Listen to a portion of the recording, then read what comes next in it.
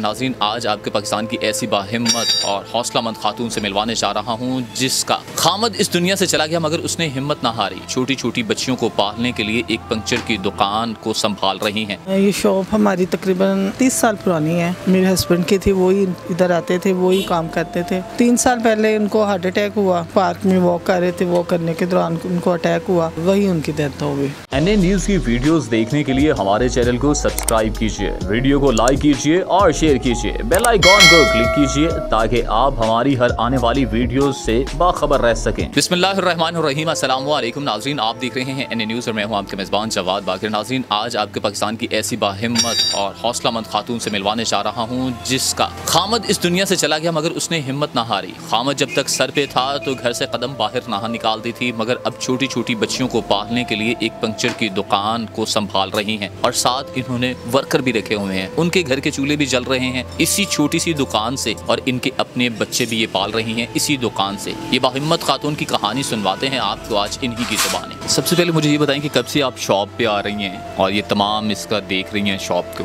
और क्या वजह बन गई? मैं तीन साल से आ रही हूँ। ये शॉप हमारी तकरीबन तीस साल पुरानी है। मेरे हस्बैंड की थी वही इधर आते थे वही काम करते थे। तीन साल पहले उनको हार्ट अटैक हुआ। पार्क में वॉक कर रहे थे वॉक करने के दौरान उनको अटैक हुआ और वही उनकी डेथ हो गई। बच्चियाँ छोटी थी, घर में कमाने वाला कोई नहीं था और जब इनकी डेथ हुई, तब तो एक दम यानी ये था कि मेरी तो दुनिया उजड़ गई, क्योंकि हमारे पास इनके अलावा कोई सहारा ही नहीं था। लेकिन ये था कि इद्दत के दरमियान ही मुझे अल्लाह ताला ने हिम्मत दी, कुछ बच्चों को मैंने देखा, बच्चियों को देखा कि वो, मुझे पता था कि मैं अगर कोई स्टैंड ना लूँगी, हिम्मत नहीं करूँगी तो मेरे बच्चों को पालने वाला कोई नहीं है। क्योंकि कोई भी किसी की मदद नहीं करता। बहन है, भाई है, माँ है, बाप है, वो जो भी है, वो करते ज़रूर हैं। लेकिन उस हद तक नहीं करते जब तक जो माँ बाप कर लेते हैं अपने बच्चों के लिए। तो फिर मैंने यही कहा कि सोचा कि ज़ाहिर औरतें दुनिया में अब सारी, आपको पता ही है कि जॉब करती हैं, बाहर निकलती हैं, काम कर रही है, मर्द के साना पिछाना चल रही हैं। तो मैंने यही सोचा कि मैं अपने ही शॉप जो है मेरे हस्बैंड की दुकान है शॉप है इसको मैं ख़ुद क्यों ना संभालूँ? तो फिर यही सोच के मैं घर से निकली आई इधर बैठी। लेकिन वो जो शुरू के छः माह थे ना वो बड़े यानी कि मेरे लिए थे मुश्किल। रोना और आ, सोच में कि ये मैं किस जगह आ गई क्या हुआ है। लेकिन फिर भी मैंने हिम्मत नहीं हारी। छः माह तक यानी कि अपने आप को संभाला। और शॉप पे बैठी और माशाल्लाह आज वही शॉप है। आज वही कस्टमर हैं यहाँ के इलाके के इर्द आके मुझे जानते हैं और मेरे से ही आके इस्लाम दुआ भी लेते हैं, काम भी करवाते हैं। बच्चे हैं मेरे पास, काम करते हैं। लेकिन शुक्र अल्हम्दुलिल्लाह। अच्छा जब आपके हस्बैंड चले गए इस दुनिया से, आप बता रहे हैं कि छोटी छोटी बच्चियाँ हैं, उनको पालना, उनकी शादियाँ, उनकी पढ़ाई, तालीम, घर का खर्च सौ तरह के मामला होते हैं।